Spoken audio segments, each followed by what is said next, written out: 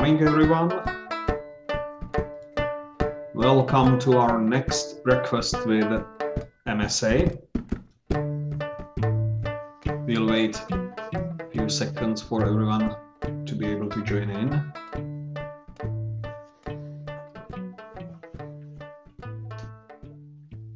All right, thanks again for connecting. Uh, we have a little thing we owe you from the last time, and that is we have not finished the prioritization of the individual uh, uh, quantities to which the final evaluation of the measurement system and measurement process uh, uncertainty is evaluated to. So we'll start right with that. And uh, Martin, if you'll be so kind and show us how how this is done. Uh, good morning, everyone. Uh, I will uh, share uh, share my screen to show you uh, Yarvyn and uh, about the about the prioritization of the of the reference values in the Yarvyn uh, we have uh, three, uh, three possibilities. We have specification limits, we have process limits, and we have process capability. And it depends what values are filled in. and it depends then how the how the evaluation is uh, is done and uh, the priorities uh, are this one uh, the highest priority is uh, the process limits. Uh, because, for example, you have your process that is quite narrower than your specification or it's uh, shifted in the limits uh, in the specification limits uh, ratio or so on so in this case it's useful to use uh, for evaluation the process limits because it uh, better describes how the process really looks like. Uh, for example, uh, the the specific uh, the specification limits are too wide or uh, something something like this. So the highest priority always is process limits.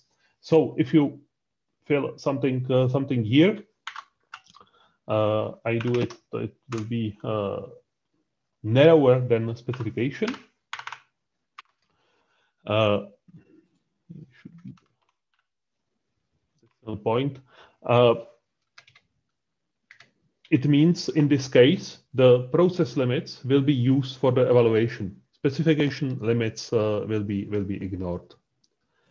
Uh, another or second uh, priority has uh, process capability, and uh, this is useful if your process capability is uh, quite uh, special than uh, than usually. For example, if it's too high, uh, if you will have process capability 3.9 or uh, 5.8, quite big. Also, it's useful to use uh, process capability for for the evaluation.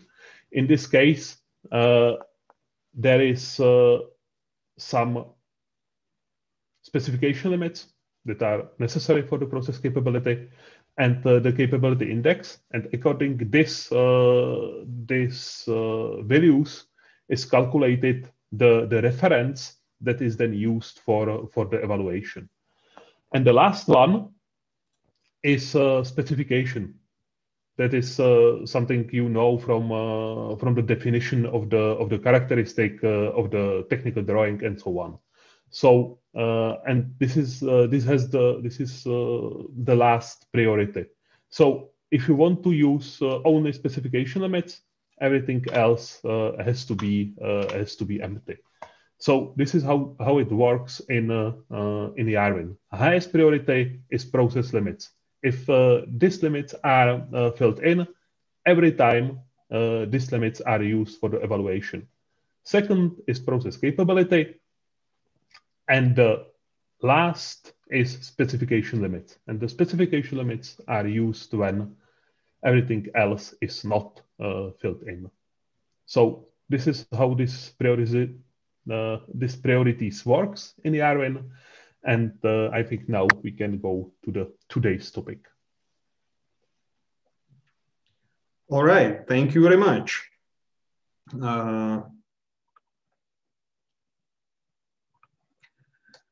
So this concludes the uh, topic from the last time.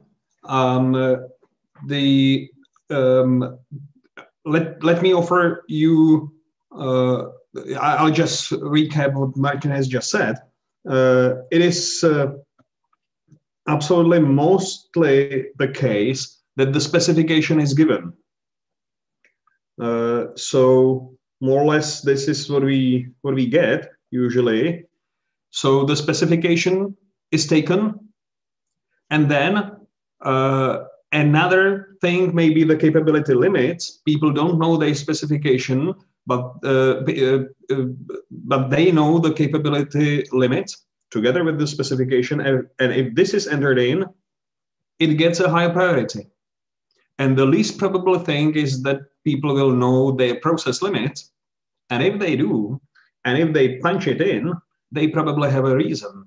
And for that, if this is in, it takes the absolute priority. So it's uh, the priorities are more or less vice versa uh, uh, against the usual process, and there is a reason behind that. Uh, the most important question still remains, and it is what makes sense, what is good, what is wrong, what shall we do? And here uh, it is necessary to say that the result of the evaluation is just a hint. It's not an absolute result, and there always needs to be a domain knowledge, a competency which takes the precedent in the end and which decides what is uh, if, if the measurement uh, device is capable or not. So treat the result from the from all this evaluation as a hint, as an as a something what comes from a let's call it junior member of your team. Uh, and but the but the domain domain knowledge needs to be supplied in order to make judgments. All right.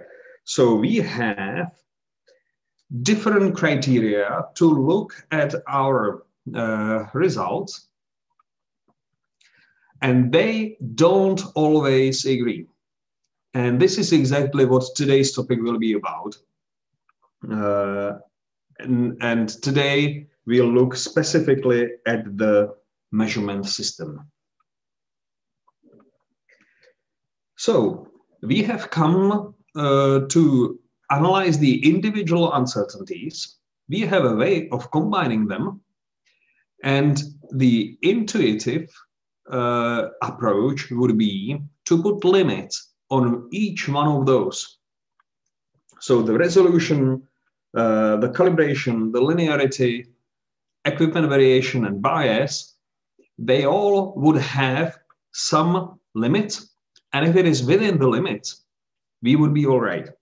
And this is more or less the philosophy of the MSA, the measurement system analysis, as it is evaluated um, through the uh, CP, uh, sorry, CG, CGK indices, and through the gauge R&R.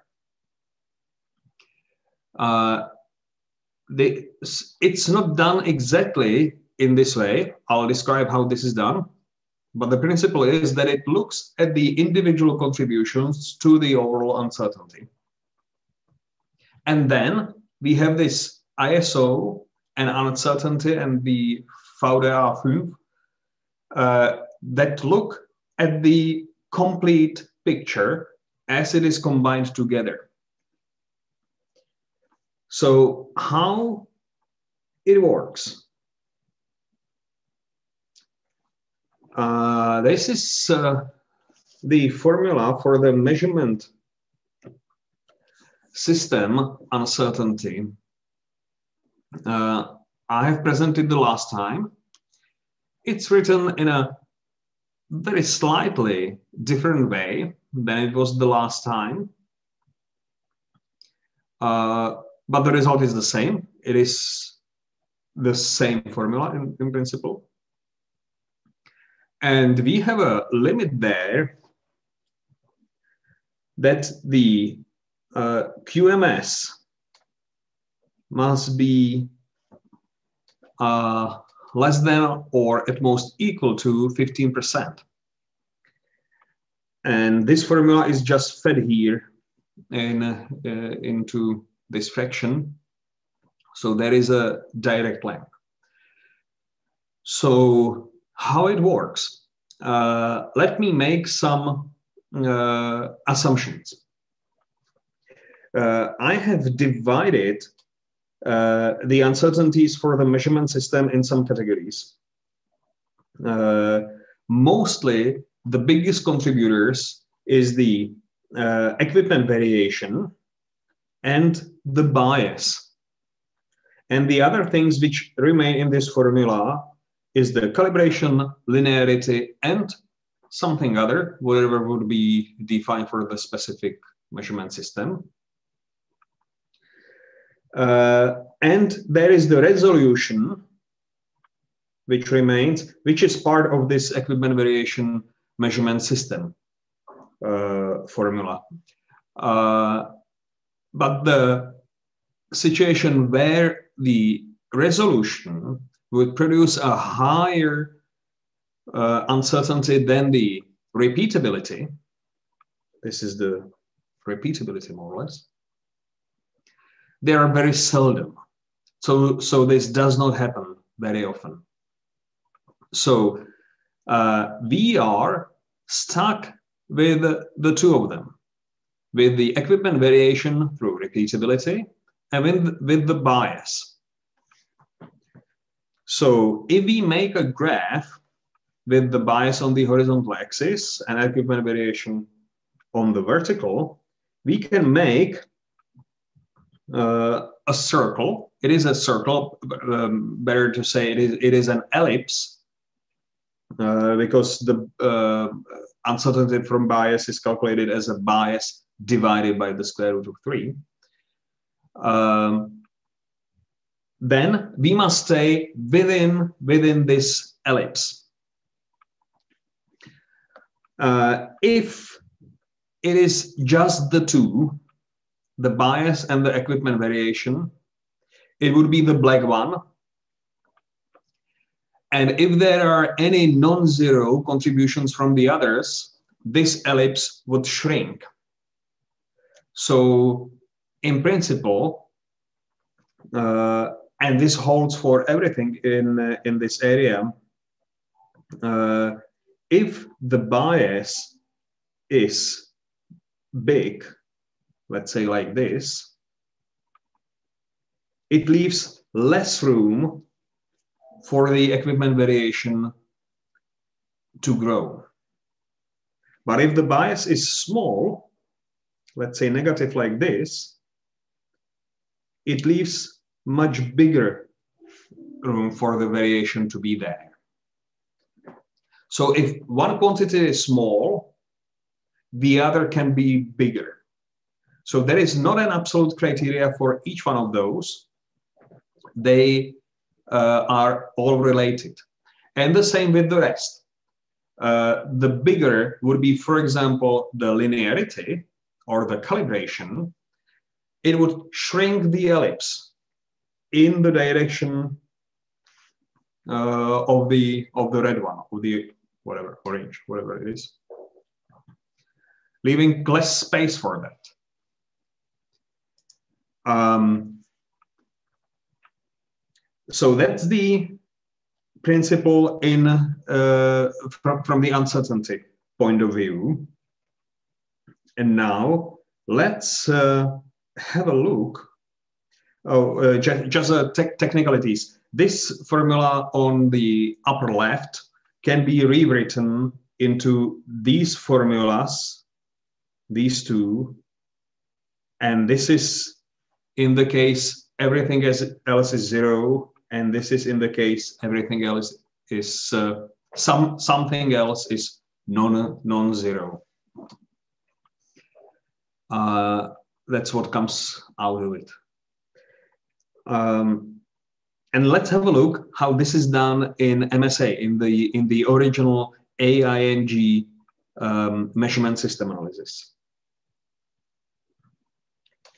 Uh, there is this CG, CGK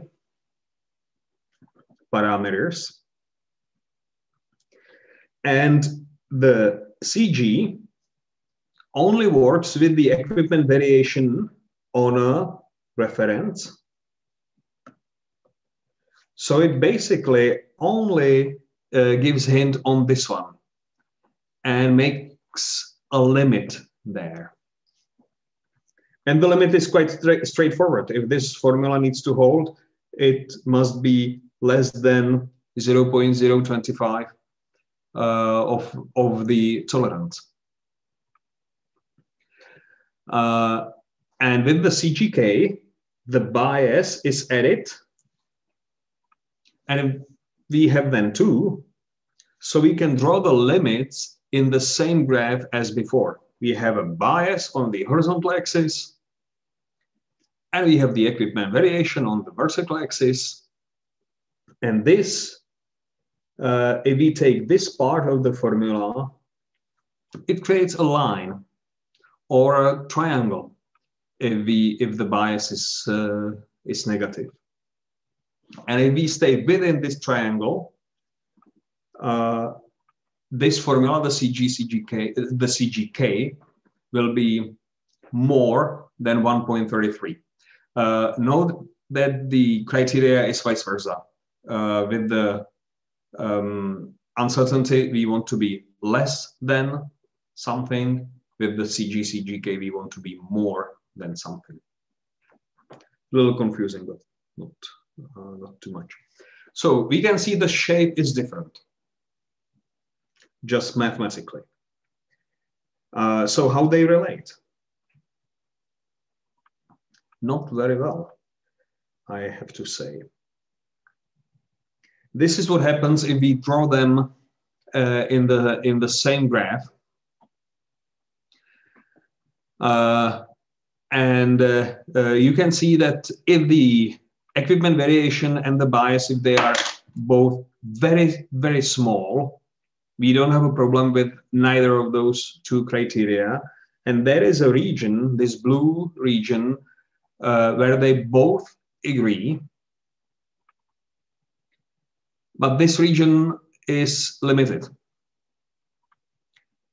And also, it's uh, uh, needed to say that there is a region where both the equipment variation and the bias is too big, and both these methods agree that the measurement system is not capable, is not conformant. But there are two regions, two areas of a disagreement, and it can go both ways. You can see it uh, here in these spaces where it is above the triangle so the CGK and actually the CG as well would be less than 1.33. It would not meet that criteria, but we are still within the ellipse given by the ISO. Uh, and that's uh, uh, because the if we would be treating the individual uncertainties separately, there needs to be a strict limit on each one of those. But this does not really, this principle does not really hold for the other ends.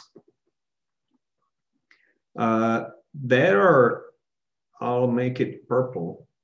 There are these regions in the end where this is vice versa, where you would allow quite a higher, uh, quite a um, higher bias,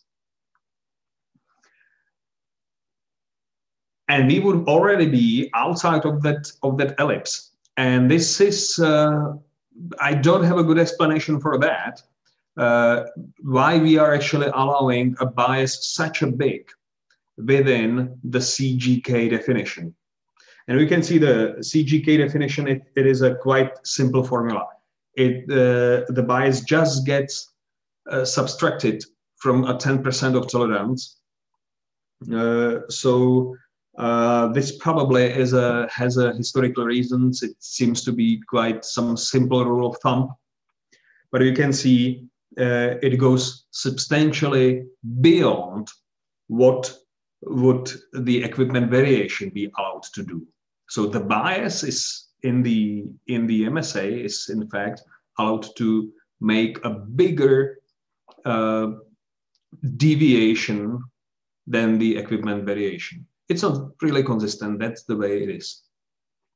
And to show you that this is not just theoretical examples, it's not just what comes out of uh, the analytic evaluation of these formulas. Um, I would like to ask Martin to show you uh, that this can really happen, that there is a disagreement between the ISO and MSA evaluation.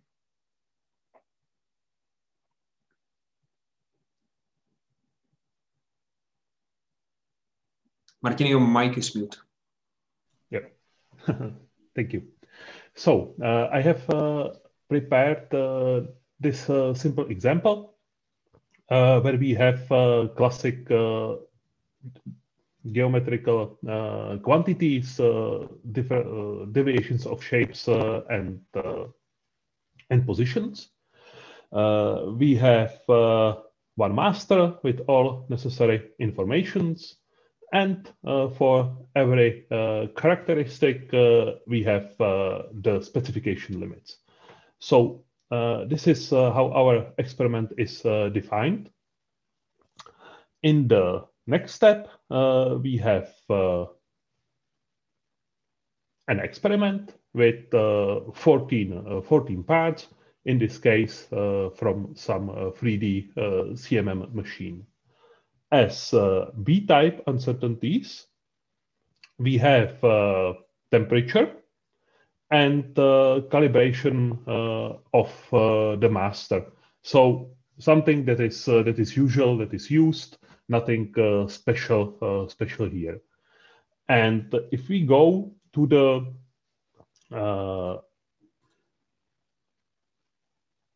results, we will focus on uh, the this first two uh, characteristic. If you look at the first one, you can see that uh, the QMS uh, is uh, about uh, 18, 18.7, and CG CGK is about 8 or 1.55. So you can see that according to the MSA, according to the CG CGK, uh, this characteristic is uh, okay. It's uh, much better than the commonly used 1.33 on the CG CGK. But the QMS, the uncertainties are outside the limits.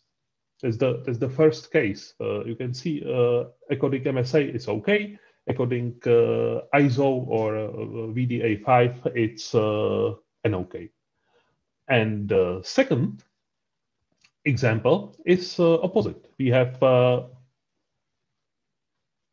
uncertainties uh, about 11.6%, so lower than the standard criteria, which is 15. But CG CGK is lower than 1.33. So this is uh, these two uh, examples uh, what I want to show you and uh, if we go uh, to the de details, uh, Jaroslav will explain what happens here. Um, the thing is, in the in the first one, where the uh, QMS is uh, beyond uh, is below the limit, is that we are to the sides of this um, of this triangle, and we can see that on the big difference between the CG and CGK. The CG is very good. It is very small. And the bias is what makes the CGK to drop below uh, below below the limits, but not to the degree that it would disqualify the CGK. The CGK is still good enough, and that's where we allow the bias to make things work to the degree that the uncertainty is no longer all right, but it still but it still works. So that's uh, uh, one case. If you open the graphic, Martin, if you will be so kind. Uh, you would see that the uh, reference value uh, this uh, here is reference value. Yes, the reference value is outside, pretty pretty distant from the region uh, of the repeatability, and the repeatability itself is uh, quite good. And if we go to the other example, uh, here it is the case where both uh, where the bias is very small. It's not zero, but it's considerably smaller compared to the region of, uh, of the repeatability. So if the bias is small, there is a reason for the ISO evaluation to give more space to the repeatability. And that's the reason why we are below the 15% with the QMS. Uh, but we are already non-compliant uh, with the CG CGK because the CG already is strict on the repeatability. It does not allow the repeatability to grow beyond uh, some limits, and the CGK is only slightly smaller uh, than that. We don't have a master uh, too far from that.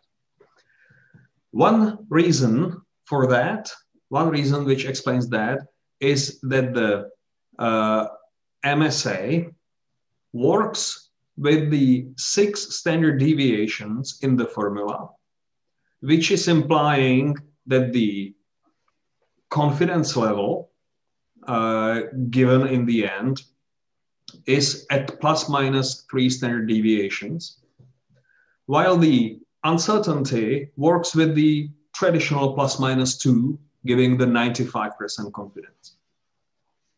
So there is a discrepancy. And I'll share my screen again.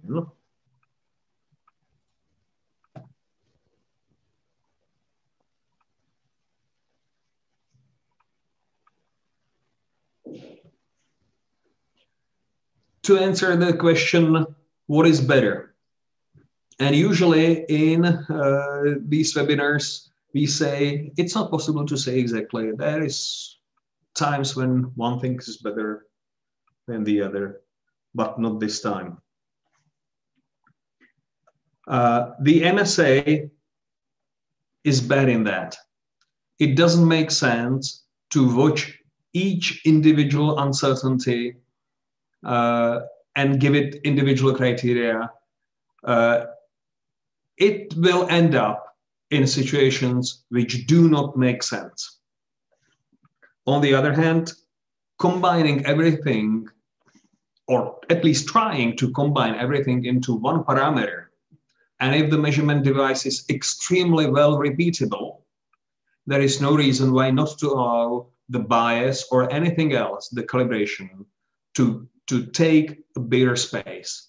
The overall uncertainty, the overall error that we'll make with such measuring device will still be within the limits. So that's the final conclusion. Uh, it is not necessary to make complex criteria. It is not necessary to spend time thinking about how each of these individual pieces of uncertainty needs to be addressed. That's what the MSA is doing. It really makes sense to make a good evaluation try to combine what uh, should be uh, combined together and put one criteria on top of it. With that, I'd like to thank you for your attention. I think we don't have questions today. Uh, if you have questions, uh, please write us an email and we'll do our best to respond the next time.